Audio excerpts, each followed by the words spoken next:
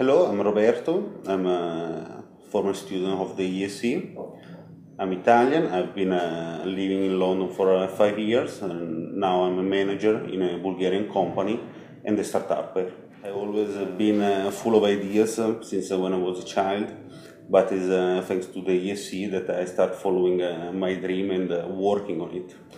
now I'm working on three different projects. One is um, a tech startup. We are developing a, a new uh, cloud-based system to track the production on um, on swing companies, with which uh, we have uh, won a startup weekend powered by Google just a couple of weeks ago.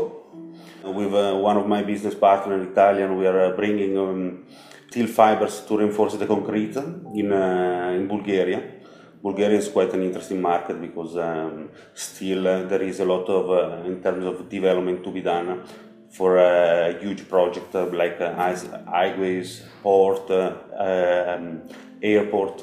So we are going there with a, a, very strong Italian business partner and developing the business for this swing companies, company in which I am a manager because we want to, um, develop the business and start working directly with a high street brand in Europe.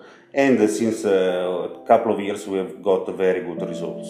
Since, um, since I came to Bulgaria as a manager in this uh, in the company, I uh, enrolled uh, our business into Confindustria. Confindustria is a quite uh, good organization uh, in Italy for sure. In, in Bulgaria, is growing uh, its network because there are over 1,000 companies, Italian companies that are doing their production in the in the Balkans. And since 2015, I'm the representative, the official representative for Confindustria in the South Bulgaria, and I'm helping entrepreneurs coming and uh, looking for a new business opportunity, achieving great products with uh, cheaper uh, manufacturing uh, processes.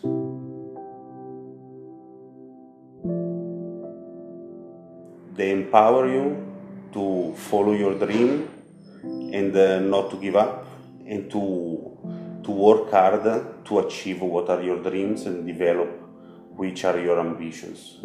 Something that uh, in other schools you cannot get because uh, they are more specialized on the academic part and leaving aside uh, the human part.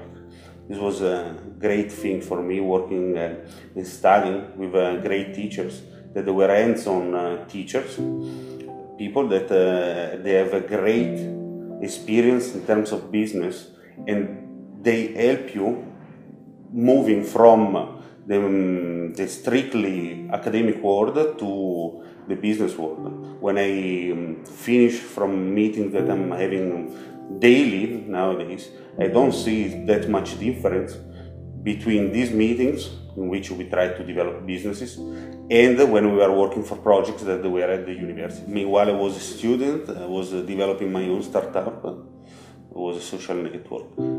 And um, they all, I found really a welcoming place to help me develop this business. Uh, the teachers, the, they have always been um, helpful and uh, open to listen and to give advices.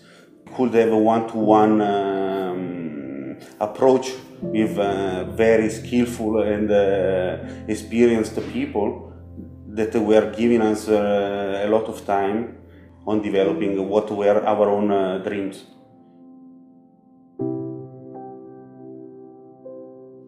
Well, this is a, a great lesson this is something that uh, not uh, many people are gonna teach about, and it's gonna come back to you every day in your life. Is uh, for example, uh, and I, I, experienced myself in first person when uh, uh, first the first time I went in southeastern Europe to work was quite hard.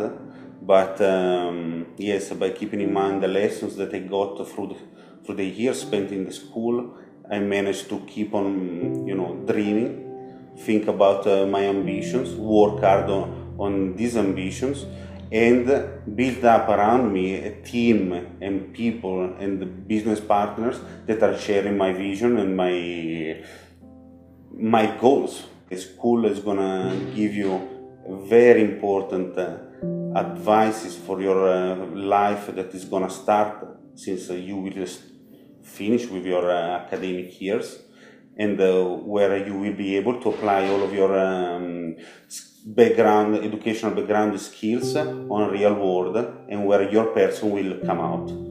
So for this I'm very grateful uh, to the to the school.